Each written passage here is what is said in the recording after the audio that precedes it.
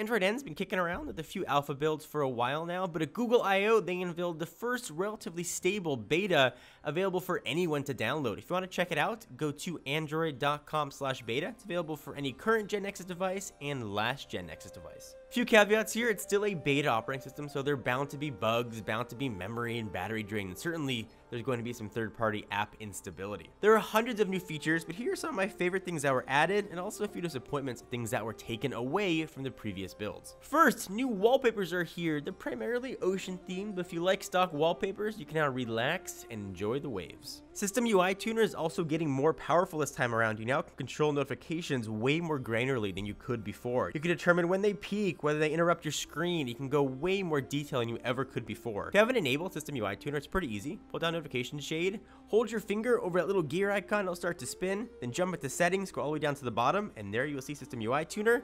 Hit other, and you are off to control your notifications. My favorite, not useful, but cool to look at feature is now theming in the default Google keyboard. You can now pick a ton of colors, and if that's not enough for you, you can now pick any photo you want, use it as a background on your keyboard. So if you want to picture your cute little French bulldog, you can go and have that now on your keyboard. The next one's going to be a huge benefit if you want to use this beta as your primary phone.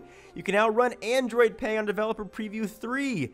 That obviously didn't work before on the alpha builds, but it's here now, so tap to pay to your heart's content. Google giveth and Google taketh away. There are a few things missing from this third build of Android N. Night mode has gone bye-bye, or taken a nap if you'd rather. We'd also seen circle folders in previous versions of Android N. Those are gone, replaced with the more classic familiar folders that we see in Android M.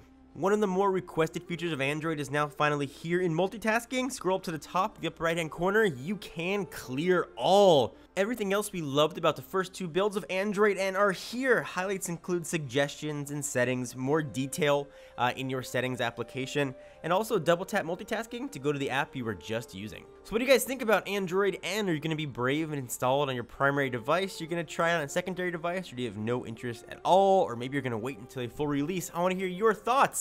Give the video a thumbs up, we always appreciate it, and of course subscribe for more content coming your way. Until next time, I'm Jon Rettinger from TechnoBuffalo. See you guys next video. If you just installed Android N and you're really excited and you want to make a website to share all the cool stuff you can do about it, the folks at Squarespace have you covered. You design your site to look professional regardless of skill level. There is zero coding required. It's super intuitive and really easy to use. They're also going to give you a free domain name if you sign up for a year. Go to squarespace.com slash technobuffalo or use offer code TECHNO with a capital T for 10% off.